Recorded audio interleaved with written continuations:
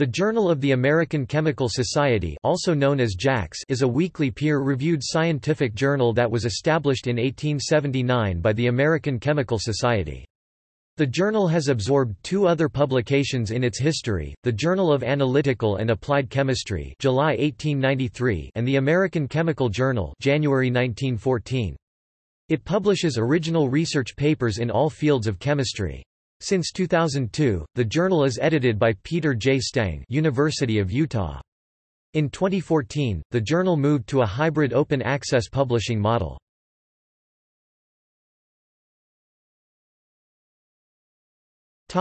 Abstracting and indexing